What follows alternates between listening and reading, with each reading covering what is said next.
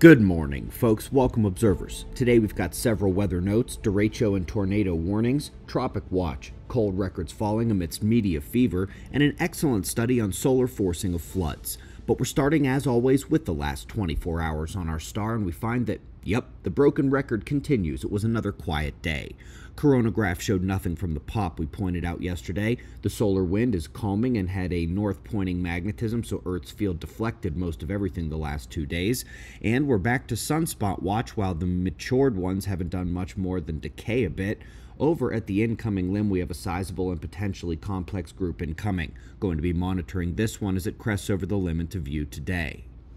Folks in the upper Midwest, eyes open tonight. National Weather Service has about the highest alert they can give with derechos and tornadoes expected this evening. Please be alert in this area tonight. Ignore no warnings. We also continue to see a ramping up of the tropical development in the East Pacific. The new one near Mexico is the most dangerous at this time, and we'll be watching the development there. And we are still adamant that the East Pacific seismic ramp up should be coming in the next few weeks.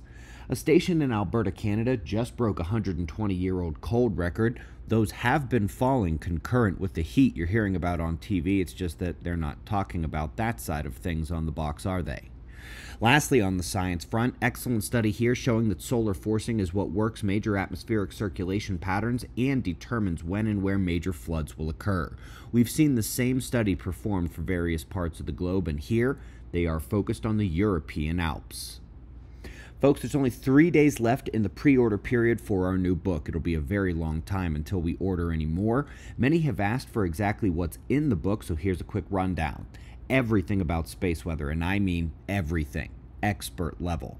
We thoroughly debunk the mainstream story on the weather and climate, and we follow that up with the real answers to what's driving the atmosphere, the sun, and all the ways it also hits earthquakes, volcanoes, and human health.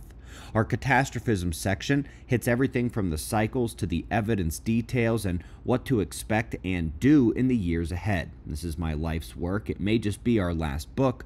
Pre order link is below. Homesteading Camp starts this week at Observer Ranch with tactical training this weekend. I'll be there August 1st and 2nd for Q&As, personal meetups with observers who are there, and to do some tactical training myself. Lots happening the rest of the year too. Check out the events. Book your stay at observerranch.com. We'd really love to see you out there. We greatly appreciate your support. We'll do this all again tomorrow. Right here, but right now at 6 a.m. in the new Valley of the Sun eyes open, no fear. Be safe, everyone.